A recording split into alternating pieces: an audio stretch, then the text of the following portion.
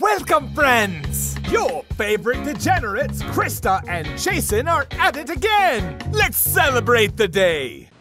What's up, degenerates? What's the situation, Degenerate Nation? How you doing today, baby? I'm doing all right, I suppose. So, I see we have booze here. We and do. I was on the road last week. Uh, well, I've been on the road for a couple weeks, so Krista is going to take the reins on our next drink. She did all the research and all that stuff, and so uh, she's going to jump in the driver's seat. But first, I want I to mention am. that super cool shirt you've got on there. Thank you. I've got one too. You do. Huh? Low life on the high seas. Yep. And if uh, someone wanted one of these shirts, they're available in our Teespring shop. I'll throw the uh, link down there. End of commercial. Now on to our regularly regularly scheduled broadcast. Okay, so this drink, um, I, I wanted to make a drink that was easy to make, but something that we've tried on the Carnival Cruise or a version of on the Carnival Cruise, and I wanted something with some history. So I went back to a drink that can date back as far as 1740, 1740. right? Wow. Okay. That's so the oldest drink we've done. It is the oldest drink we've done. Um, it was very popular on, believe it or not, ships and throughout um, Cruise Navy. ships?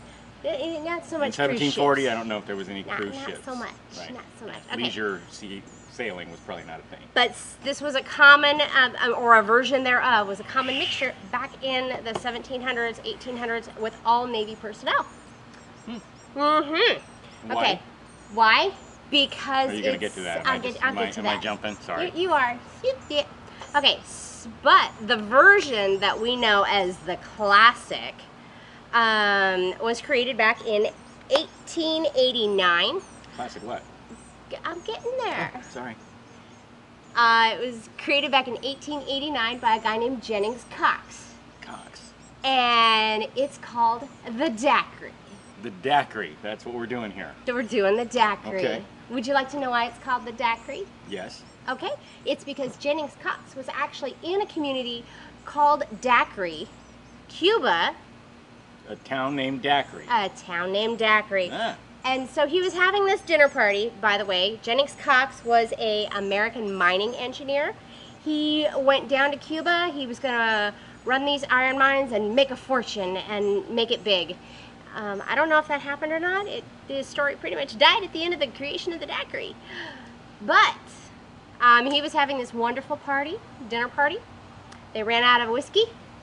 They how were- wonderful that party was then. They ran out of vodka. but he had rum, Proper prior planning.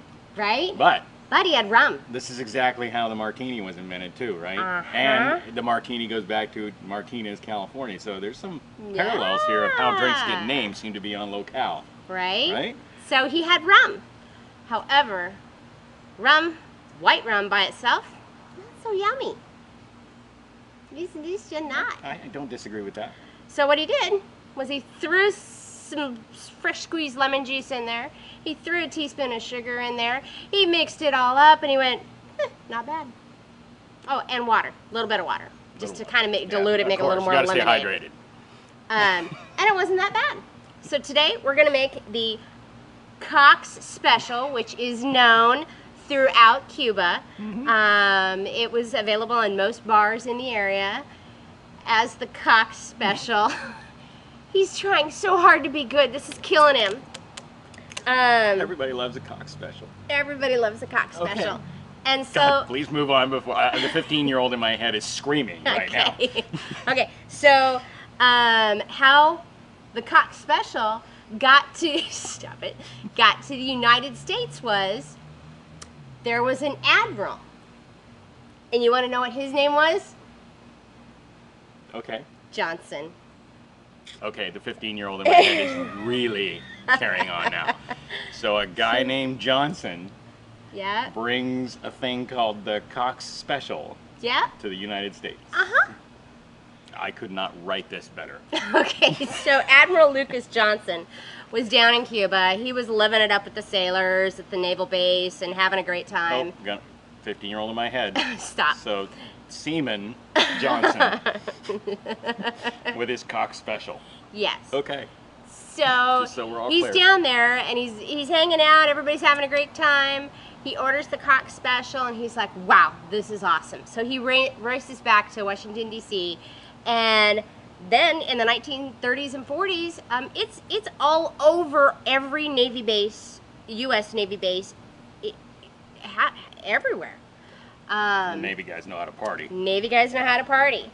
So, um, the reason it was prominent on the Navy bases in the 30s, 40s, and today still, and the reason it was prominent back in 1740 is because the citrus based was giving vitamin C to the sailors, which helped prevent scurvy. And you don't want scurvy. Nope. And the alcohol was obviously an um, kill it all. It does increase morale aboard.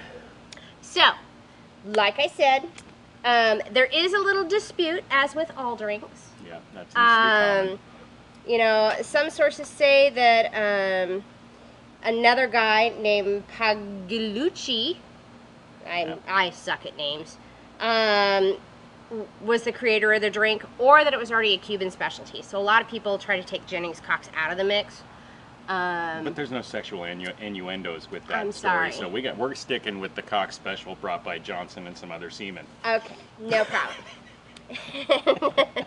so we're gonna go ahead and we're gonna mix this drink. Okay.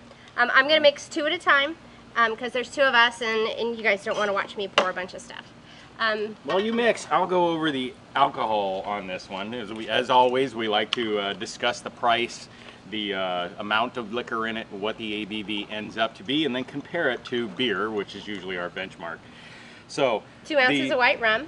The first one we're going to do is the Cox Special here. Yep. And it has one ounce of rum in it and about six ounces of non-mixer ice melted down, the lemon juice, the simple syrup, the water, all of that business, which comes in at about a 5.7% ABV drink. So it's it's pretty approachable, pretty drinkable. I could see why you would issue this to your sailors on a ship and they wouldn't be jumping off the side and, you know, They'd be happy. doing belly flops Happy, and you know happy, big party they could still ride the uh, ride the fun and at 9.50 a drink we do this ABV cost per ABV we take the price of the drink we divide the uh, the ABV on it and you get to this cost per ABV so if you're looking to see if you're getting your bang for your buck as far as liquor is concerned in your drink this one comes out to $1.66 per ABV um, we use beer as our benchmark, like I said. We always do. 16 ounce on board will run you uh, 5.95, and it's 4.2% alcohol, which comes out to about 4.2 or a, uh, a uh, 0.7 uh, pure alcohol in that drink, and it comes out to $1.42 per ABV. So as a uh, comparison, this drink would probably be a bit more expensive, but pretty approachable as far as a mixed drink goes. Yes. Now, one thing, um, oh, you're doing the shake it, shake it, shake it. One thing about this drink, um, it does call for regular sugar, a teaspoon per ounce of rum. Um, I chose to do simple syrup because it's already mixed and it's it's it's it's easier. I, I don't. I suck at this part. It's simple, Um, hence so the name. the um, translation for simple syrup versus uh, regular sugar is anywhere from a quarter to a um, quarter to a half an ounce per teaspoon of sugar in the recipe. So,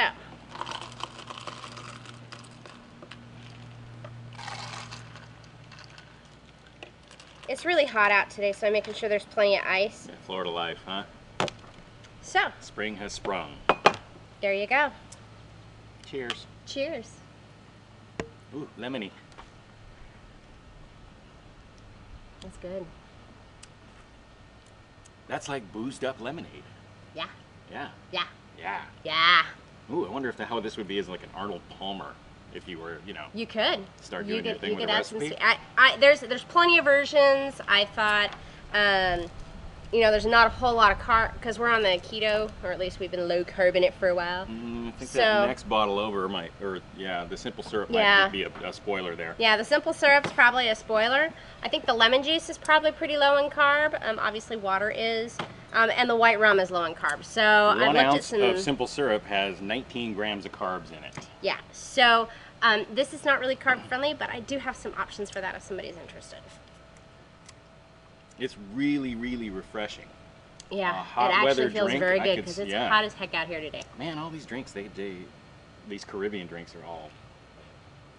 That's that's decent. Now, now careful, because this is a sneaker. rum is always a sneaker. This is a sneaker. So we're gonna drink this. We're mhm. gonna do our thing. We're gonna come back because we haven't had anything to drink today, other than water and coffee and Monster. monster. You had a monster? Yeah. I jelly. Okay, so we're gonna drink this. We're gonna come back. We're gonna blow. We're gonna mix another with more fun facts. We're back. Welcome back. That was good. um, so we finished our drink. Um, we're gonna do that whole blow thing that he loves because he's just a numbers guy. Um, Science. Science. Uh, Well, I think it's a a- you know He blinded me with science. I've learned a lot by using this little deal. I know it's you know it may not be accurate to like you know law standards or whatever, but it's amazing that you know the amount of alcohol that we drink and what that correlates into toward the result end of it at least. It's, it's cool. And you know it's one thing to sit here and describe how you feel. It's another thing to measure it, and then the difference between her and I. I made weight-wise. Oh. oh, 0.05. so There's the difference weight wise. Maybe we don't want to drink this and um, all day. Maybe I would dilute it a little more.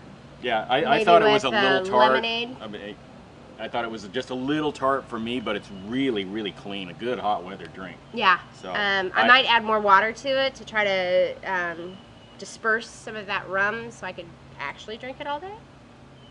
You could, you could try. And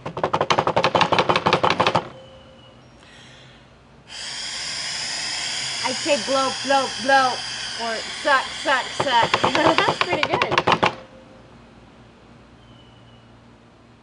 Does that?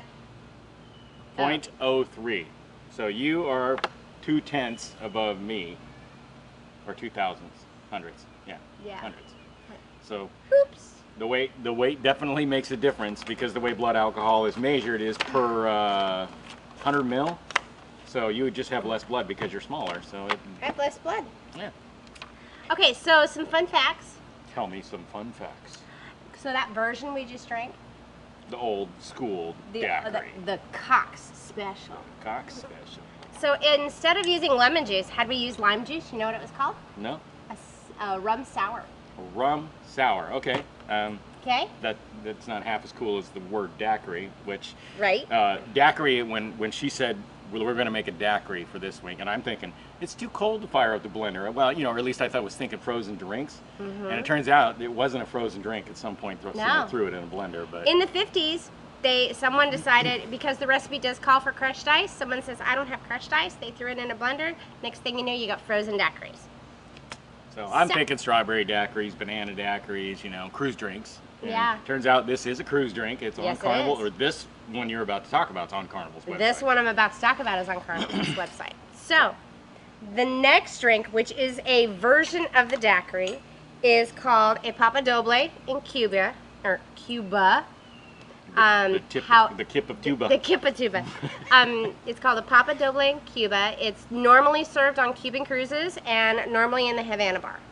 Um, and the Havana bar on Carnival Cruises serves many different styles and, and variations of daiquiris. Uh, this is one of them, um, and it is called the Papa Doble. Why How- do they call it the Papa Doble? Um, because um, Ernest Hemingway, this is one of his favorite drinks. Um, you, you know who Ernest Hemingway is? I think everybody knows Right. that rock star name. Okay, so Ernest Hemingway absolutely loved this drink. He loved the Cox Special, but he was a little concerned about the sugar that was in it because his dad was a diabetic. So he wanted to make a version of it um, that didn't have added sugar. Wow. Um, so instead of adding the sugar, he swapped out the sugar for the maraschino liqueur, and instead of lemon juice, he added grapefruit juice. So it's a couple, it's a little bit of variations, but Hemingway, I don't know if anybody knows this. Hemingway was quite the connoisseur of liqueur. Creative Um, types. Yeah, he he he he was definitely a degenerate. He can be um, his his history um, can go back at um, whiskey and soda. Uh, the martini, he's got roots with the martini. He's got roots with the daiquiri. He's got roots with the gin and tonic. Um, dripped absol or absinthe, dripped absinthe, um, and a whole base of the a whole bunch of the the suite of Campari based drinks. The Negroni, um, the Americano, and a variation of his was a, called the Gin Campari and Soda. So Hemingway was quite the, the connoisseur of alcohol. Um, you can actually find a book on Amazon called uh, To Have and To Have Another, or To Have and Have Another, a Hemingway cocktail companion. I was going to buy the book. It's 43 bucks. Woo. So if he wasn't a, a poet, Right? he would have probably been a bartender. Yeah. Um, the Kindle version is $14, so I'm still possibly considering it. Um, but yeah, Hemingway Hemingway liked his alcohol. Um, and um, he created this drink at a Havana bar called the Floridita. The Floridita has five different versions of the daiquiri on it. One of actually one of them is actually called the Hemingway Especial. Um, and they spelled Hemingway wrong back in 1937 because they didn't they wanted to pay homage to their most famous client, but they didn't want to flat out call it Ernest Hemingway's drink. so, um, let's get to mixing this thing. What's in this thing? Oh yeah, I, I, I put in, the amount thing? of alcohol in it, but what's the recipe? If you go to Okay. Carnival's website, you can obviously look it up. It's in- on their recipes. Um, it calls for two ounces of rum, and on the Carnival ships, they either use Flor de Caña or a version of white rum, which is usually Bacardi. Um, we're going to use Flor de Caña today. Yep. I picked up this bottle Uh, in uh, Costa Rica, Yep. so it's, we're close to the source. So it calls for two ounces of rum. It calls for an ounce and a quarter of maraschino liqueur. Calls for a half ounce of lime juice and a bunch of ice. You shake it, shake it, shake it. You put a cherry in the cup with the ice to kind of add a little bit more of a cherry tropical thing. We could have our umbrellas, but we don't need them. Let's do the booze on this one. Okay, This you thing, do the booze while this thing is an animal because, uh, like the uh, the cucumber sunrise only has two ounces of vodka, 40 proof, same as uh, same proof as Bacardi. But this thing throws an ounce and a quarter No, of yeah, and maraschino liqueur. And I'm actually going to mix two at a time, so if you're watching me pour, that's why. Yeah, so or an, uh, it has 0.75 of an ounce per drink of, of maraschino liqueur, but it ends up coming out at somewhere around 14% alcohol. So if you do that ABV cost analysis per ABV, this thing is about 71 cents per ABV. It's a pretty good value as far as a strong drink for the 950 price tag it brings. So yeah, and it has one ounce of pure alcohol in it. This is the biggest drink we have ever drunk on our Kick the Cruise Blues and Make a Drink at Home series. I ain't drunk yet. Man, we might need to get on some of them guys' burgers after this. We got the leftovers from last week. Oh Lord. We have all yeah, the we still got donkey ingredients. sauce. We got all the Anyway. ingredients. We could we should do that.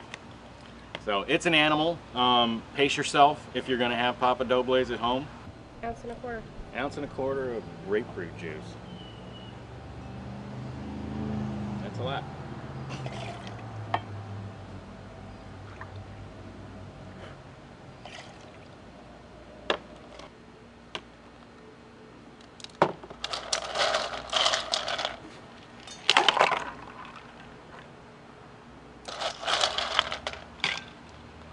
Favorite part. Okay. Except for the getting it off part. Yeah. You know, it's really cool. When I shake this, look at the, how frosted this glass gets. And the more you shake, uh, Carnival's website actually says, when you think you've shaken enough, shake again. So there must be something to it. Yeah. Do you think it's for more dilution because it's such a powerful drink, or you think it just needs to be super cold? I, I think it pissed on me. Um, I think um, it needs to be super cold. I may have gotten it not as secure on that lid. And this is an iced drink. This is an ice drink. Um, I messed up my pretty new shirt, honey. It's all right. We have a washer. We're, I we're pretty high end over here. Yeah. we have automatic washers. Cheers to Ernest Hemingway. Yeah. A lot of his um, poems, literary arts actually contain references to alcohol and references to specific drinks. Degenerate. Love that. It's. You cannot tell that is so powerful. This is dangerous.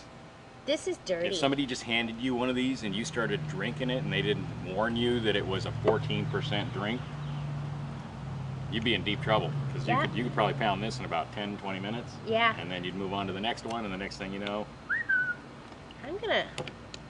I like sweet stuff. And hence me in her life. Hello. and we didn't add this, so I'm adding it now. You're supposed to have, supposed to put cherry. Yeah? Yeah. Yeah.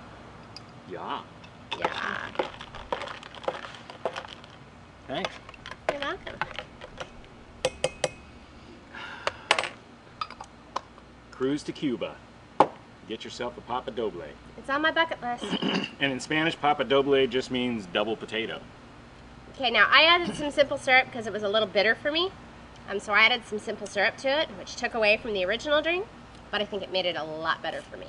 Well, this, you know, this is 2019. I think cocktails of the past were almost medicinal-ish, you know. Yeah. It does If taste you a little think about the medicinal. classic old school cocktails, and then it wasn't until, you know, we started out with the tiki thing, maybe? Yeah. Somewhere around that era, where we would find a sweet drink. Well, it wasn't the 50s when the um, the Hama Mama, 40s and 50s, Yeah, I guess, yeah. Yeah, it's just a and this was created probably ten, uh, well quite a few years before that, so more medicinally. Well, just uh, it's a it's a it's a alcohol drink. We didn't. I don't know that it was associated with being of something that was super super smooth. But this is pretty doggone good and pretty sneaky. This is strong. Yep. Well, it's great. I'm already feeling it. Maybe it's the first one. Ugh. Okay, so we're gonna drink drink number two, and we'll be back. Cheers. Holy crap! This drink is strong. This drink is an animal. Um, I I know we're eating low carb, but the kid had pizza in the fridge, and the, I'm, I wow, snacks weren't gonna cut it. I had to move to the heavier shit. so, uh, my opinion on the Papa Doble is it's a it's potent. So as an opener, it would be good. Something you, but I I don't. It wouldn't be an all day drink. And if you don't like tart drinks, if you're more of a sweet drink person, don't bother. Save yourself the trouble because it's very very tart. It's a, a, a little medicinal, kind of a, an old fashioned boozy drink, right? Mm-hmm. Ew, put your Grab you by the boob. grab you by the boo boo and say, "Hey." Okay. Um.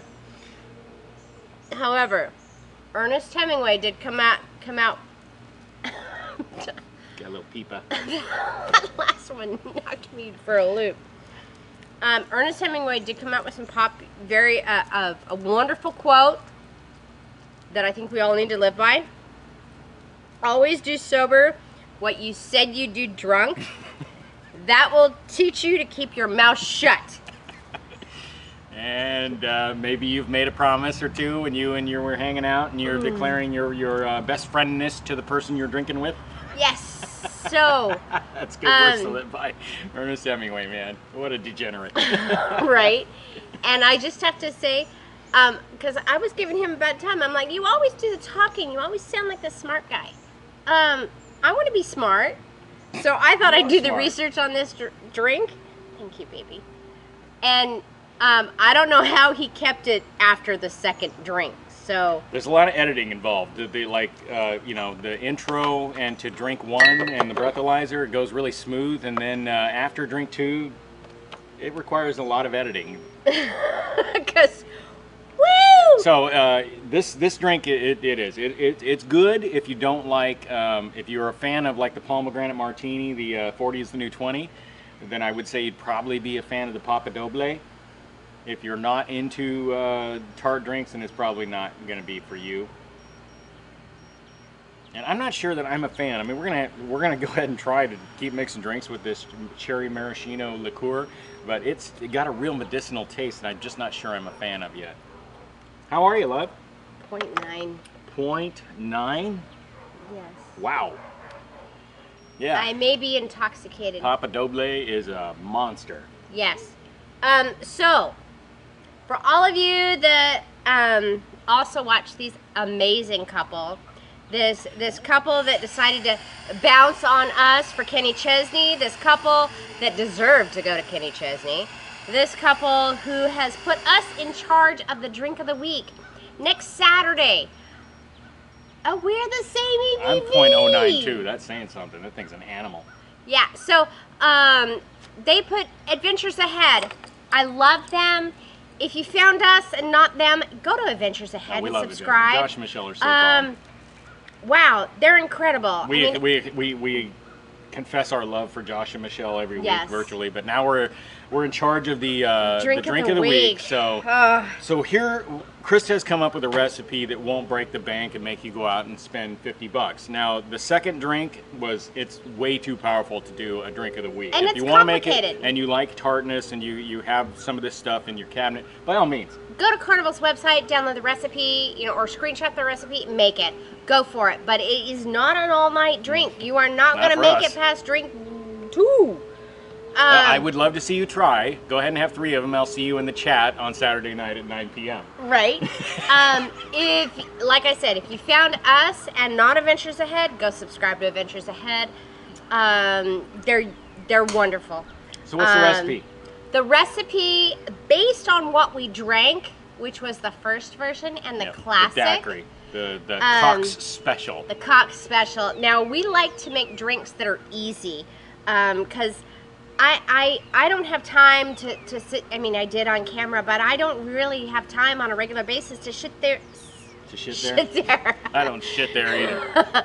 to sit here and like measure and for one drink it's not going to happen so based on that based on what we liked based on our opinions we think one ounce of for one person one drink I'll throw the recipe up when she comes up. one ounce of rum and two ounces of pre-mixed lemonade whatever so go find your country time that, lemonade that you like Go, go, buy a find 16 your ounce bottle of uh, lemonade. uh, lemonade, Wawa lemonade, AM PM lemonade, whatever lemonade you like. Put two ounces of that and one ounce of rum, shake it up, and call it good. and then basically you've just made a daiquiri on a budget. If you got Right. uh, unlimited resources and uh, your life's turned out really well, then by all means invest in a bunch of expensive liquor and shit. Right. But- now, if you want to go more original, um, and still have a similar experience, one ounce of rum, one ounce of lemon juice, and one ounce of water. Half an ounce of water based on Cox Special Mix recipe just wasn't enough. you can't do it, can you? No. You can't keep a straight face when I say that. So based on Cox's special recipe, original special recipe, um, I think another half ounce per per per glass per person um, makes a big difference. Um, it does dilute a little more. It makes it a little less tart. Brings out the little more sweet.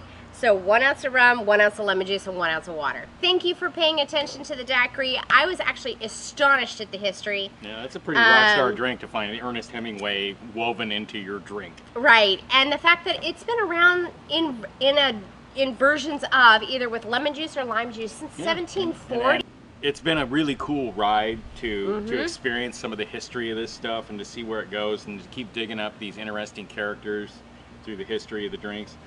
I've been missing out all this time. Um, if you go to a bar and order a Hemingway or a Papa Doble, be Make sure- prepared yeah, to sit drive to for a while. bar. Don't drive to that bar. Have a great week. We will see you guys next Saturday. Until then, Celebrate, celebrate the the day.